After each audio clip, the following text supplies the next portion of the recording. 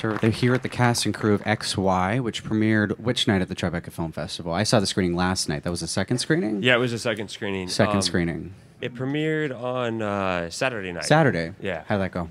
It was fantastic. I mean, you know, when you make a movie, you're kind of in a little bit of an incubator, and we didn't do any test screenings beforehand, so I was very curious to see how people were going to respond to it. And the funny thing is, is you know, people laughed so much more than I thought they would, which was great because when you're in your own edit room, the, the the the funny moments become so old and stale, and to have it see it in front of an audience for a first time and have it become alive and be its own thing, it was really incredible. Yeah.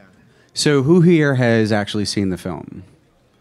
Okay, so we have about Awesome. four or five people. Thank you. So for the rest of the people in attendance and for everybody listening in on the podcast, um, why don't you, since you wrote it as well as directed it, um, give a kind of you know plot synopsis as to as to what XY is exactly about? Cool. Yeah. Well, it's it's a relationship drama that's set here in New York um, that basically follows four different friends as they're each trying to figure out um, some kind of you know major issue in their life. They're all struggling to to um, to connect in some way with either somebody else or with themselves. So it's kind of an investigation of modern day relationships and the struggles that we all face to to find that like real authentic connection with someone someone else. Now, could we go down the line? We have so many Sure. people here, uh, and have you each describe who you play in the film or, or what your role was on the production? Um, hi, thanks for coming. I'm America Ferrera. Um, I play Sylvia in the film, and I'm also a producer on the film, and I'm also married to the director. Oh, I I'm also in the movie as well. He stars So, in it, yep. Um, I play the role of Mark, who is in who's in a relationship with Sylvia in the film. Hello, my name is Jon Paul Phillips, and I play the role of Jake, who is um, sort of a redemptive best friend, if you will, of Mark. Um, my name is Kwesi. Co- uh, really, I'm not British. Um, uh, I'm a producer on the movie, and uh, I helped sort of bring, I guess, the financing and and and post supervised, post production supervised as well. Awesome.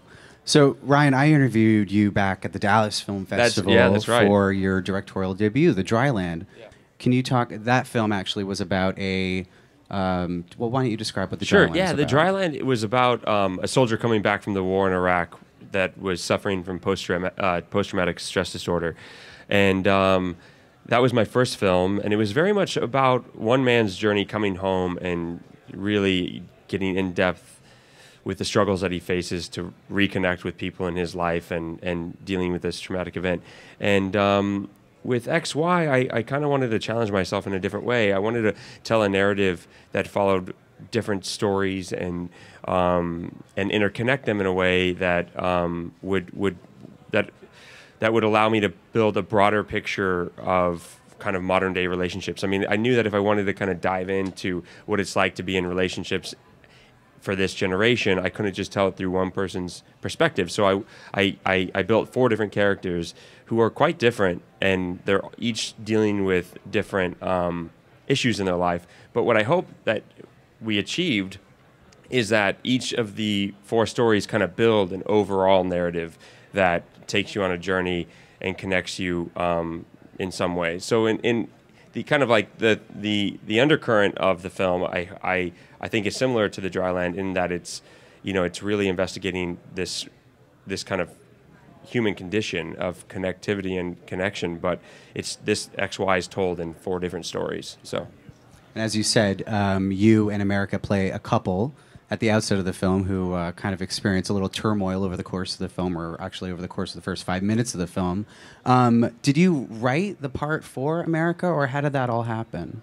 You know, it's funny because I, I didn't actually write it for her. I I wrote it and then I thought um, I didn't know she's a pretty tough character. You know, Yeah. she has a lot of qualities about her that that might be hard to digest. So when I showed it to America, I didn't think she would want to play it necessarily, but I, I did want her to come on as an, uh, a producer to help me develop the story. And so over the course of developing it with each other, I think you fell in love with the character. But she was she played a big part in strengthening that role and adding depth to it, which ended up getting it to a place where I think she wanted to play the part. Yeah. Yeah.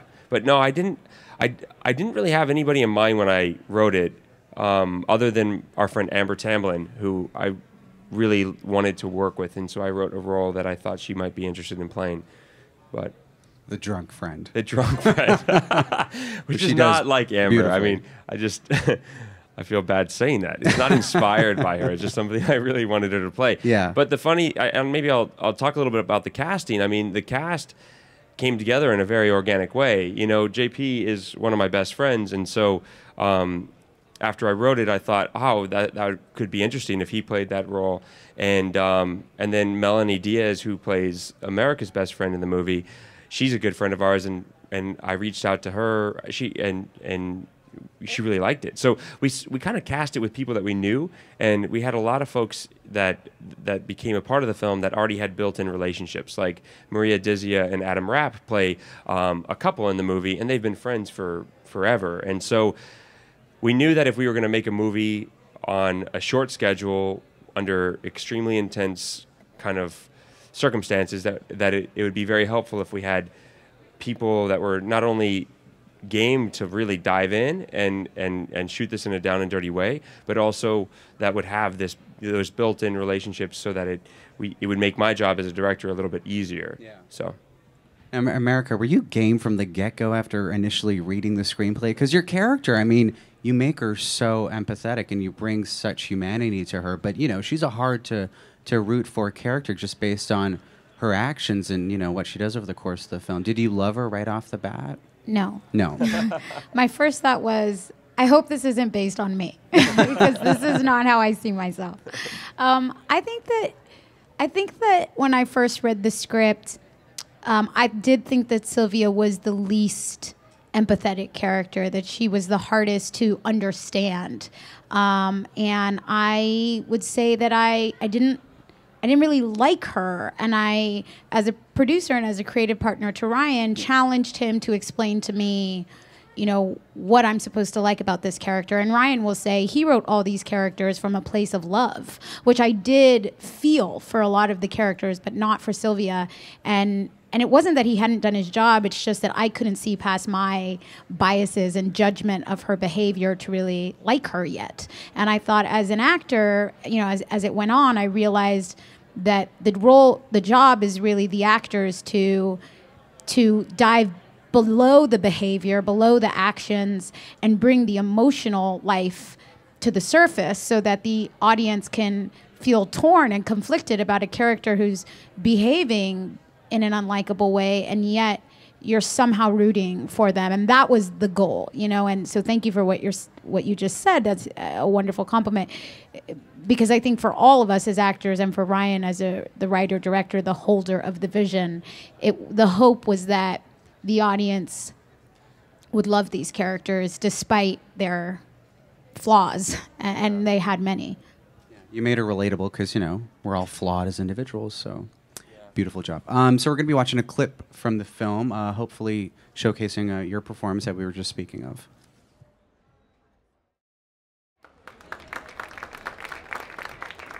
That's a little intense. yeah Um, I I guess with that, I have to ask, like, as a as a married couple, I mean, what was it like to to act those scenes out and to uh, to go through that together?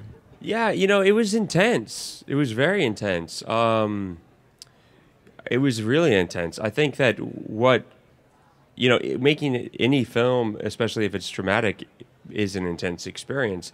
For us, I think what was great about the experience was that, you know, we both we we know each other so intimately, and we know each other's strengths, we know each other's weaknesses, but ultimately we really want to support each other and push each other to be the, our best selves, you know. And so I think when you're working with somebody who is that creative partner as well as a life partner, um, it it can be an intense experience, but at the end of the day, you know that they have your back. And so for us, it was it was challenging, but it was it was a, it turned out to be a very beautiful experience.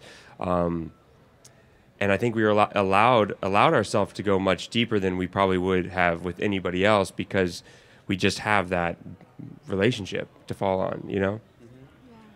Yeah, I would say that even though on camera what you see is quite, um, there's a lot of turmoil there. Uh, I think really just to get through the filming, we needed each other more than ever. We really had to band together just to get through the day, you know, just to, from, you know, being, uh, you know, watching the monitor when he was in front of the camera to, to uh, getting him a green juice because he hadn't eaten in you know 12 hours to being there as an actor for him helping him sink into the scene when he had six different hats to wear we needed each other and um, so it really in a weird way stra- strengthened our our partnership through the film Now, this scene takes place af- uh, after an, a sex scene that opens the film between the two of you. Now, I have to ask, as a couple, I mean, what is it like being so intimate on screen together? yeah, that was. I mean, it was. It was fine for us, you know. We we're married, so obviously we've had sex before. Well, yeah. you know, I mean, it's a given. Um, I I mean, I would hope, um, but Not always. we didn't say how much sex we have just that we've had it this is going in really personal personal personal territory. Territory there. Change the So, and we did not have sex for the movie. I mean, it was it was Yeah, staged. this is not an Nymphomaniac. No, it's No. not a porn. Actually, when I first told my mom about the movie, she uh, I, and I said, "Mom, there's a lot of sex in the film. I'm not sure if you actually want to see it." And she's like, "Ryan, did you make a porn?" And I'm like, "No, I didn't make a porn, Mom." Triple Um, XY. But um, no, but I mean, uh, it was it, it was awkward. But what what I thought, you know, um, I try to make it not as awkward as possible. And this might sound co- counterintuitive to that, but you know, the first day I I decided we'd shoot this scene, the, the opening scene first, in which we're having sex, and I just decided, you know what, I'm just gonna be naked on set and just walk around naked for a while and like get the crew used to me being naked because I'm gonna be naked a lot on the on the film. So Yeah, that's not the only scene. no, there's No. other scenes. But and and after five minutes, people didn't really care anymore. And so um, when we shot the scene, it was it was pretty pretty relaxed actually. Um, Did the other actors follow suit for their scenes? uh, well, Jake had a, a, a scene as well, or JP had a scene that he had to be naked in as well. Um, but but you know, I, I felt like let's just bring the crew together and set a tone where it's going to. This is I wanted to say to them with my actions like this is how it's going to be, and it's going to be intimate. It's going to be raw. It's going to be we're going to go to some really deep places. Um, and I r- hope that they would be able to hold the space for us and really drop into what we were trying to make. And I think we succeeded at doing that. I mean, we had an amazing crew that really supported us throughout it all. But it is awkward. I mean, sex scenes are awkward, you know? and directing sex scenes of your partner with Yeah, other men, very I imagine, is not easy. It's not easy. Yeah. No. Do you want to speak to that?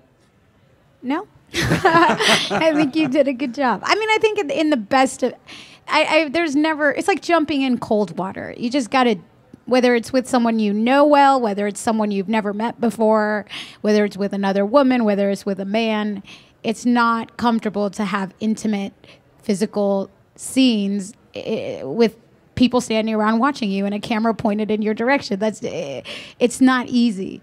Um, so you just sort of jump in and you have that initial shock of this is kind of weird and I want to run, but then you stay in it and and you can make it about what the what the goal of the scene is. You know, the the hope is that this is not a movie about sex. You know that you don't come away from this film saying, you know, oh, they made a movie about sex. All of these characters' sex scenes are conduits to their emotional life, and and that the true intimacy between the characters is when they can stay present enough not to take their clothes off and Yeah, talk to one yeah. another.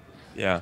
I think Yeah. it was facilitated somewhat by uh, the the sort of the trust that we had really uh, in doing those scenes. And I know certainly when Ryan and I were briefly involved, um, Kwesi and, and uh, America were there to, to sort of guide guide us through it. So there was always eyes watching, um, and so so with that, I think it was not easy, like you said, but but certainly manageable. Yeah. I, when he says briefly involved, we have a sex scene as well. Um, I didn't want to bring that up because it's kind of a spoiler. It is a little bit of a spoiler, but I think it'll probably. We've been talking about it already, Yeah. but um, and it's it's that scene's really about um, a deep connection that uh, between two broken people who are trying to heal each other in some way. For me, that's how I see it. But um, you know, w- when we were preparing for that, we really talked a lot about it, and it's not something that we took lightly. I mean, it's it's it's an intense experience, but ultimately, we we brought um, we had a lot of trust for each other and had a safe a safe place. Like I said again, with America and Kwesi kind of being there to kind of make sure that when we were going into that space that we would feel protected and able to do our job. But it was hard. It was hard. Yeah.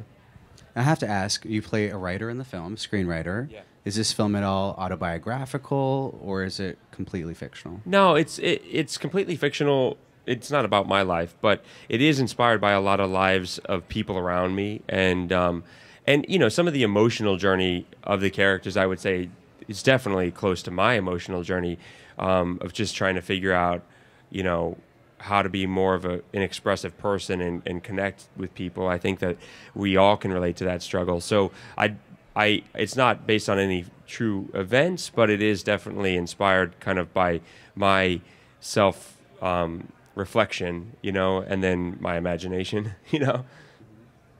And we have another clip from the film that we're going to show.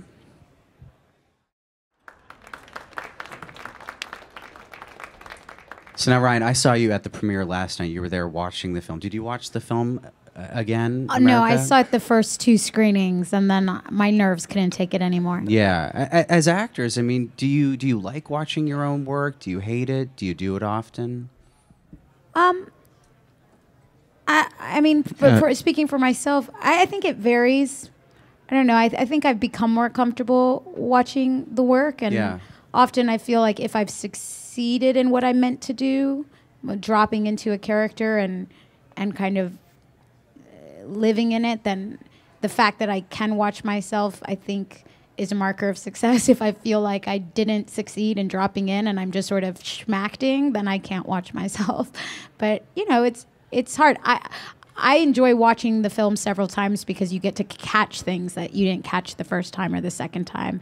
Um, And it's truly an ensemble film. and it's an ensemble film so you know the first time around you're too nervous to to really sink in and see what's there so it's fun to watch it a couple times but watching it with an audience even if they're responding positively is still such a nerve-wracking experience so i put myself yeah. through it twice and i think i'm done watching it with an audience What do you, JP, for you? How is it? Well, I think that I don't need to to to watch anything during the process. I think that's that's something that you have to give yourself up to, and you know, trust that your director Ryan in in this uh, in this case is is taking care of everything, and really, there's nothing for me to for me to to watch. But the final product is certainly something. I mean, we really hadn't seen that much during the process that he was making it, and so it's nice to watch it because it's nice to see what he's done with what we all gave to him, and so you know that's just that, you know there's a huge sense of pride with that, but but certainly during the process, no, absolutely not. I mean, yeah, unless someone actually is demanding you to see it for, you know, because you're not doing a good job, which hopefully never has to be done. yeah. For me, it's it's. I mean, I had to be a part of the editing process. Oh, yeah, I was going to ask was- you about that. How do you go about directing yourself? And It, but it's we can get into that crazy. I mean, you know, the, the way I go about it is I, I just prepare um, as if I was only going to be the actor, and then I prepare as if I'm only going to be the director and writer, and so on and so forth. But and and and in doing that, I come to set immensely prepared and try and let let it go. So I'm not thinking about it, obviously, but but I have to also make a conscious decision in, in a moment. All right, right now I'm going to be the actor in this scene. I'm going to be present for the other person, and I'm not going to watch their performance. I'm going to try and give whatever I can over, and then you, you then I stop, walk off, and put the hat of the director on, and think about like either watch playback or talk to our producers or whatever I have to do to get some kind of perspective, and then dip back in and do the acting. And it's incredibly challenging because you're constantly bou- bouncing back and forth between several different jobs and different hats. Um, for me it was incredibly difficult because it's a it's a pretty intense emotional journey that my character has to go on. And so there would be times where I'd be in the scene and I would just be completely lost, like lost in the scene. And really, I had to re- rely on you know someone like America to be there at my side and say, okay, well that was, you know, good or bad, or you maybe try it like this or try it like that. So so she was really there to help kind of give me some insight. Um, and then there's always like um, just knowing that you can play different intentions as an actor that will then have the other actor um, respond in a different way. So you might be in a scene and try something different with a different intention that will yield a different performance from the other actor, and that's also another way to kind of control the direction, if you will. So I did that a lot as well, but. Um, it was challenging. It was incredibly challenging. And then the editing process is crazy. Like I hate watching myself. So to sit Oh, there wow. for months, it's like torture. It's like Chinese water torture. Like you sit there and just stare at yourself and with an editor in the room and you just want to shoot yourself because He shows the right takes, I gotta say. So I mean, I tried, you know, I tried, but I was fortunate enough to have four different editors, and not um, none of them got fired or quit. But it was um, it was that they could only each give a certain amount of time, which for me I think was in, an incredible process because each editor came on board with a new perspective, and so I was able to engage in a different dialogue and see the movie through four different eyes, um, which helped me a lot, you know. So at the end of the day, I think to answer that question, it really came down to having an amazing team around me of people that could support me and help um, realize the vision. Like, and Kwesi was there, you know, on set as well. Um, you know, in, it- in making a directing scenes. making a film uh, in itself is such a difficult task but i mean you- you're kind of being modest about that, that literally this splitting your head in so many different departments of a film. And then you're the writer you know you're thinking about the words not of just your character but every other character that's in the scene. And maybe even the scene that's going to be shot tomorrow or the scene that was shot two days ago that you're thinking oh maybe I, that was the wrong method you know whatever. But um but uh, um, and then having your wife on set too, uh, you know that that can be for most people pretty Yeah. stressful. Yeah. it, wa- it, But you guys, I mean, you have a professional relationship, and Are you gonna stand up for me? I, I am waiting for him to finish digging, No, I'm I'm, digging I'm, the hole. I'm done. But no, no. I mean, bit. for us, like I said before, it's you know our we actually met working together on a short film that I directed, and we worked on the dry land together, and and now and we've made this now together, and you know our relationship, our personal relationship is very separate from work. Um, you know, a lot of times conversations spill over, obviously, but we we love working with each other. how do you keep it separate on set though? You you I mean, you're in work mode. You know, Did you have a conversation, you know, in the car before going to set? No, I mean when you're when you're actually shooting, Yeah. you, you we couldn't. I mean, when the, all the scenes in our apartment, not in our personal apartment, but the the apartment in the movie, um, we were also sleeping there at night. You know, while we were shooting. So you we- Out of necessity. Out of necessity, we seriously like nice apartment. it was a beautiful apartment. We kicked our friends out of their apartment And then had them let stay them ours. stay in our apartment.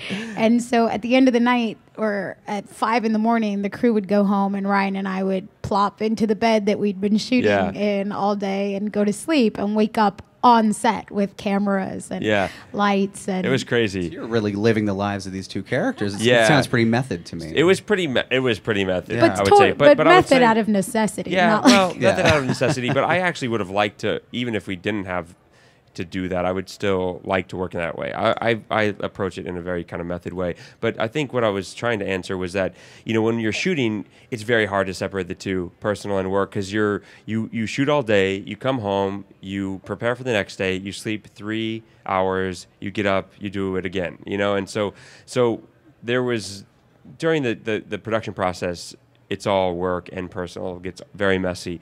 But then when, when you're in post or when you're writing it, it's a lot easier to kind of um, separate the two. So Uh, so we're going to watch one last clip from the film, and then we're going to open up to questions from the audience. I'm sure you all have some great questions.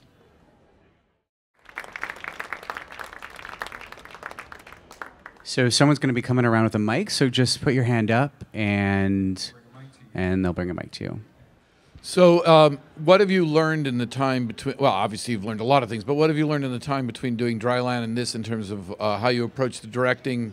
And America, how did you? What did you learn in terms of how you work together? Were there things that you did then that you've learned do do differently that you two maybe found in sync? That's a that's a good question. Um, you know, I with the Dry Land, I was very much. I came from it. Came from like just out of film school. Um, I had a, you know, I think there was a sense of, um, there was a lot of pressure, being my first film to to to do it right, you know, and so I over prepared. I mean, to kind of a crazy extent.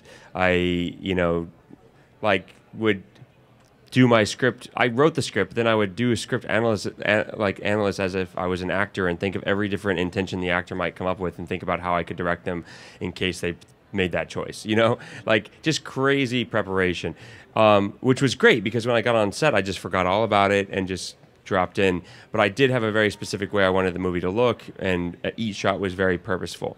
With XY, I did all the same preparation, but I decided that I was going to just let it all kind of go. And you know, I didn't have a, as tight of a hold on on the visuals. I we that being said, I, I think that it, XY is a much more visually pleasing film, but I wanted it to be more fluid, and so and to be able to allow for space for people to have happy accidents and, and really foster those kind of like magical moments. So I shot it in a, in a much more loose style and I kind of approached it in a much more loose way. Um, we shot over 100 hours for this movie, you know, and I just would roll and roll and roll and, you know, we would try different shots and try different, you know, ways of doing each scene. And I just wanted it to be very, very loose. And, um, and it was a it was a great experience, and I I think that that that perspective came out of not only growing as a filmmaker, but growing personally, and not feeling the need to kind of hold on so tight to everything. Um, I also paint. I'm a painter, and you know, in my painting, I I kind of I have a a, a process that's very messy and and um, is very much about embracing mistakes, and I've been painting a lot, and so that kind of that investigating that process has really influenced the way that I, I make movies as well. Do you paint like John does in the film? Is that is that your Uh, style? no, that's a different style, but yeah. Naked. Although I did paint some of that, but yeah. Yeah. Um, well, I mean, clearly you grow in relationships, in any relationship, whether you're producing partners or the longer you work together, the more you know about one another and you know how to better support them. I would say for me, it's been an incredible gift to watch this uh, process of directing a film, writing a film, and getting it together and directing it. And then when everyone else walks away, you're stuck in the editing room, still living with it. And then you're fixing the sound and getting to be up close and personal and watching him through his process has uh, has been a great gift for me. And what I would say is, as an actor, you know, I, I feel you come in, you take what's been given to you and you make it your own as much as possible and then you sort of walk away and as a producer your job isn't necessarily to make it your own your job is to to really understand the vision of the director and to do what's necessary to create the environment in which that vision can can succeed and come to fruition. And and so as a producer, and Kwesi can speak to this too. I'm sure there are producers listening or producers here in the audience.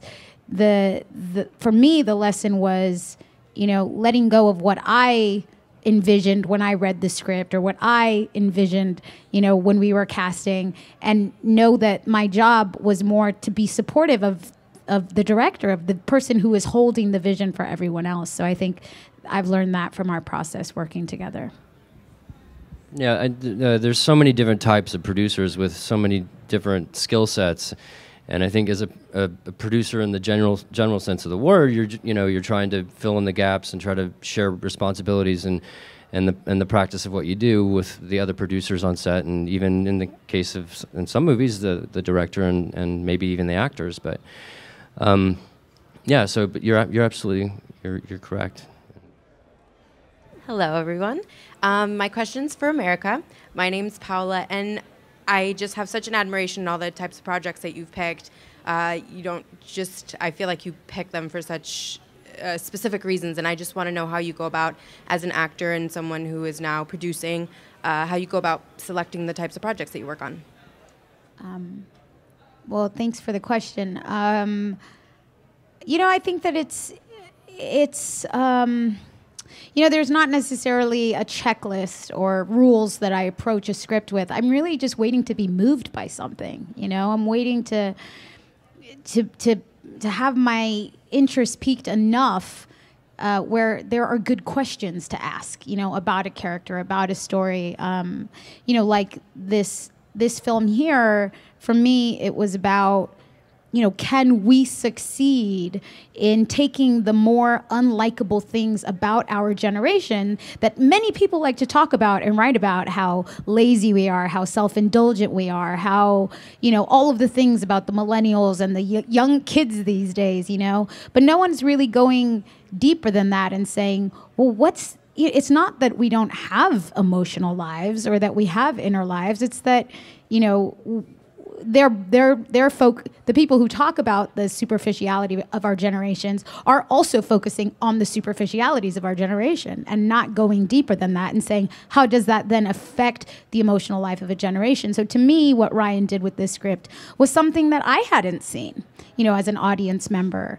Uh, the I hadn't seen a, a director or a writer approach our generation in that way with some sort of actual question and understanding, uh, I'm sorry, a desire to understand versus just a comment. So that for me is what hooked me to this film, and I think it's different for every project. And I'm just looking to to to be able to um, be challenged and and and when something feels new and fresh and like it hasn't been done before, that's always really exciting too. This question is from America. Hi, America. My name is Evan. How did you develop the voice for Astrid and How to Train a Dragon? And what is the sequel going to be like from your point of view? Hi, Evan. Thank you for the question. Um, the second movie's coming out. It's very good and very exciting. Um, I love playing Astrid. I think when we started, I mean, maybe eight years ago, shooting the first movie, uh, Astrid changed a lot, and she was a little bit me and a little bit my fantasy of getting to finally play an animated character in a in a big animated movie. So um, I would say there's a lot of me in Astrid. Hi. How long did it actually take to film this movie, and how long were you two sleeping in your uh, your set bed, apart from outside of your own flat? oh, um, it took 20, uh, 20 some days to shoot it. And we were in the set bed for, I think, four nights. So, not a long time. But when you're shooting, it feels like a long time. you know, four nights is a lot. What's that? Yeah, no, it was it was an it, it was a pretty intense process. I mean, we had um, limited resources and we had you know actor schedules to, to consider and um, all of the things that you know there were a lot of constraints and so we really had to push hard to to to capture the film in a short amount of time. And that's why i think it it was really essential not only to have a, a crew that was willing to go on that ride with us but a cast that was like prepared that had built-in chemistry and were willing to do hair and makeup like in a dingy bar bathroom, you know, and not expect to have a trailer. So, so in a lot of ways, it was very stripped down. I mean, it was a really stripped down production, and we and yet we had such great talented people working with us that really believed in the project and wanted to be a part of it. And that's that's the only way we could have done it. I mean, it, otherwise, it would have been the budget would have been way out of our control, you know. I'm just going to get one last question. Sure. in. So we have a lot of you know aspiring writers, directors, actors, producers who who read IndieWire, and um, can we just go down the line and have you each kind of tell me how how, how you think or how, how you got to where you are and whatever kind of advice you can offer to people that want to be in your shoes one day. Yeah, sure. I mean, for me, I think you know the most important thing is um, to be inquisitive. You know, ask questions and um, try and really uh, tap into your perspective of the world. Um, find life experience, like embrace experiences in life, em- embrace knowledge about filmmaking, watch movies. Um, and along the journey, I think it's very important to treat your, yourself well in terms of like the way you eat and exercise and sleep because I think that's never really talked about but I think in order to dive deep and create you have to be coming from a, a well balanced place to go to these dark places and, or these happy places. So I would say like really treat yourself well, um, and never give up because everyone's going to tell you no. Everyone will say no a million times for the one yes you get, and so just be very strong in your vision and and don't take no for an answer ever. So. I would uh, add to that that don't ever expect it to be easy because even when you've had one success, it doesn't necessarily mean that the next thing you want to do is going to come to you easily. You have to constantly be proving yourself. And I think I learned this from watching Ryan do his work is he's not afraid of the work. He just wakes up in the morning and says, instead of sitting here being really upset that no one's responded to the script, what can I do today to get me closer to my vision? Whether that is making my cast, my dream cast board, or whether that's working on my my lookbook, whether that's you know, redoing the budget in another way. Watching him has taught me that you only learn by doing. So you can't sit around and wait for the perfect story to come to you or for someone to ask you to be involved in their project or for someone to discover you. You know, we all have something to say and it what you have to say will never get said unless you just do it and not sit around and kind of wait for the perfect circumstance. Yeah, absolutely. I think, um, and this this is not just from filmmaking, but, but I have never kind of done anything or, or, succeeded in anything if I haven't made a, a strong choice and sort of ran with it. Um, I think we can all can be kind of indecisive at times, even when you're trying to figure out where to go with your girlfriend to get dinner, and no one wants to say yes or no, or we don't mind. Like, say what you what it is you want to do and follow through with it, and and that goes horribly wrong sometimes, um, more often than not, and you always can learn from that. And I think in doing that, um, you only move forward. And it might, like you say, to, you might take 20 steps back before you take one big leap forward. But uh, that big leap really is kind of everything. So just follow your gut and stand by your your word. You know, I would say. Um, I would say patience is probably a good one. Um, getting a film actually to the point where you're starting to shoot takes a it's treacherous. It takes a long time. Um, sometimes it, uh, more times than not, it falls apart right before you proceed. So that's that's definitely one thing. But but work. I think the biggest thing for me is, is work with your friends. Um, in in your in you know this career that we've chosen, I think that there's that opportunity to do that quite a bit. And um, I've certainly had the opportunity to choose to work with my friends, and you build friendships when you actually do the work. So I think it's that's that's one of the things that I've learned. Yeah, I would echo what he says. I mean, you know, especially for young filmmakers, like find your friends that love to do what you are doing and start working with them. Band together and just make stuff, you know? And uh, we have a great filmmaking family amongst us. Um, and there's a lot of other people like our producer Jason Berman and my producer from the Dry Land Heather Rae that we will constantly keep working with each other. It's and because it's a lifestyle, you know, it's like it's not just a job; it becomes your life, and you want to work with people that you really love and also believe in in what you're doing. So that's that's so important. Yeah. And just one more thing, I would add like don't be afraid to fail. Like yeah, don't, don't be, be afraid, afraid to to make something bad because you're probably going to make something bad before you learn how to make something good. And I think being afraid to fail stops a lot of us from taking that first step. Definitely. Just and and and you know, like I would encourage you to fail. You're probably going to learn a lot from it. I mean, don't set out to fail, obviously, but but but don't be afraid because we all fail time and time again. I mean, I probably failed a hundred times during this movie to get to a movie that actually I feel decent about showing to people. You know, so I think that really be o- learn from your failures and and grow and try and not make the same mistake twice. Also- oh, sorry. Sorry, just one thing. Uh, just I would say never try to come from a place of fear. I think that would be something prevalent, just because you're then operating from sort of weakest point, which is really setting itself up for a fall. So, um, I mean, it's it's very very hard to not come from a fearful place or act out of uh, fearful thoughts. So so just as much as you can, block that out? Can I, I'm just going to shout out to.